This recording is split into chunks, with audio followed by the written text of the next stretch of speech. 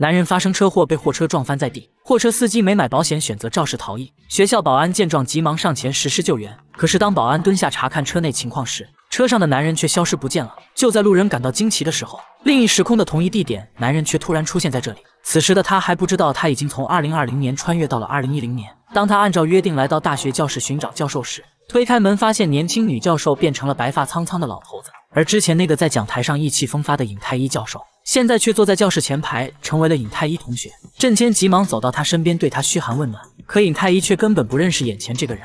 而老教授却把他们误认为是情侣吵架，他让两人到教室外面去处理。同学们听完却开始起哄，让他们在这里继续调情。为了缓解尴尬，太医抱着书就离开了教室。郑谦追出来询问他到底认不认识自己，但是却被太医一口否定。他表示并不认识郑谦。当郑谦询问太医现在多少岁时，他发现太医现在比二零二零年小了整整十岁。郑谦听完急忙抓住太医的手，询问他现在是几几年。结果太医告诉他，现在是二零一零年，今天是看超级月食的日子。如果今晚真的是二零一零年的超级血月夜，那么今晚也是母亲遇害的日子。郑谦听完，当即就往电话亭跑去，放入硬币后，他急忙拨通了家中的座机。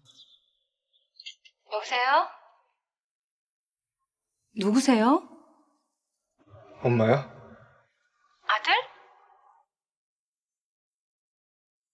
지금 수업 중 아니야 진짜 엄마야 진겸아 왜 그래 무슨 일 있어 진겸아 엄마 내 말 잘 들어. 내가 지금 갈게. 내가 집으로 갈 거니까 문 다 잠그고 절대 밖으로 나가면 안 돼. 집에만 있어야 돼, 알겠지? 母亲接完电话后感到莫名其妙，于是他就来到郑谦的高中学校。他询问郑谦刚才打的电话到底是什么意思。二零一零年的郑谦并不知情，他说电话并不是他打的，他让母亲不要理会，说那可能只是一个恶作剧。而此时二零二零年的太医一直在给郑谦打电话，可郑谦的手机却始终处于关机状态，根本打不通。于是太医便来到郑谦工作的警局，想要在这里问问情况，但却在这里遇到郑谦的青梅竹马金度妍。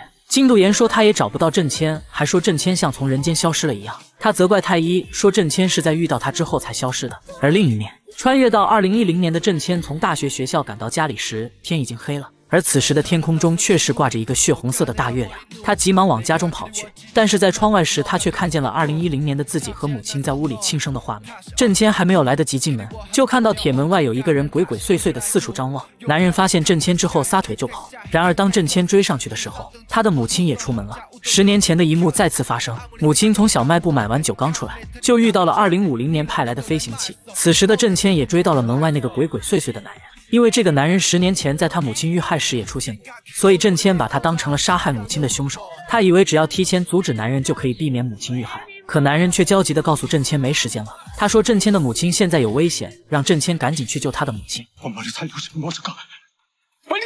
郑谦听完当即就往家中跑去，可是当他回到家中时还是晚了一步，母亲还是和十年前一样躺在了家中。郑谦哭泣着把母亲抱进怀里，而母亲看到郑谦的那一刻。他一下就看出眼前这个儿子是从未来穿越过来的。他说他很高兴能够以这样的方式看到长大后的儿子。母亲和郑谦寒暄完，就让郑谦把时间卡拿出来。他拿着时间卡按下启动按钮，然后把郑谦的手放在时间卡上。母亲说他要把郑谦送回到二零二零年，还让郑谦以后不要再穿越到这里来。